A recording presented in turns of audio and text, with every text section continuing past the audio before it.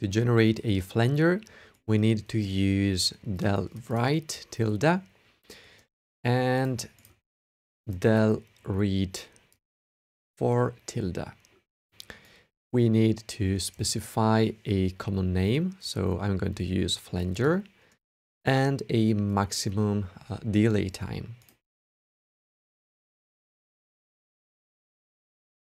Then for the audio source, I'm going to use SF Play 1, which is the abstraction I made for a very simple yet super useful audio file player.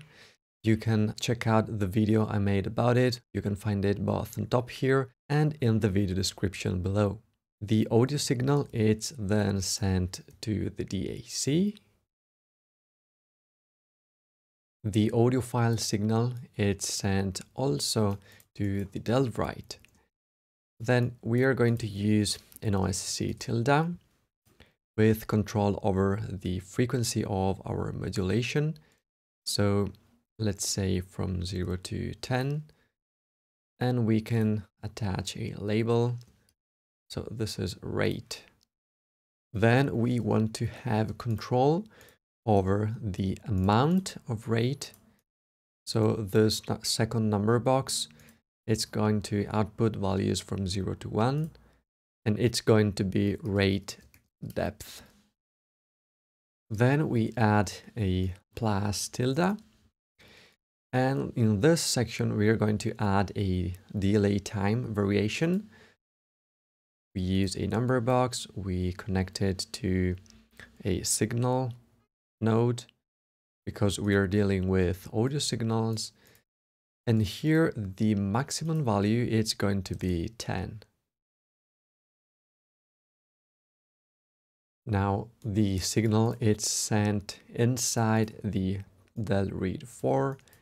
We are going to apply uh, one more multiplication node that this time it's going to send flanger send tilde flanger. We use a number box normalized between 0 and 1. Well, I can uh, set the maximum value to 0 0.98. Otherwise, with feedback at 1, we'll hear a too harsh feedback sound. And here we can write feedback. On top here, we receive feedback instead of flanger rate. From this point, I want to have control on the overall uh, effect amount. So I'm going to multiply what's coming out of del, del read 4 by values normalized between 0 and 1. So 0 no uh, flanger effect, 1 100% uh, effect. So this is our dry wet.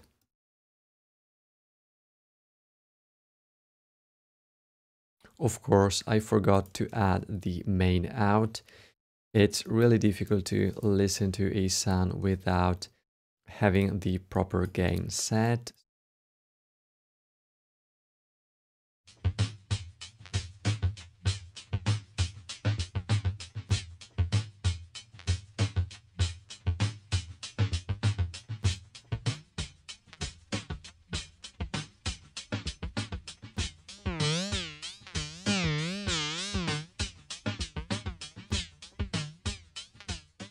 That's all for today's tutorial.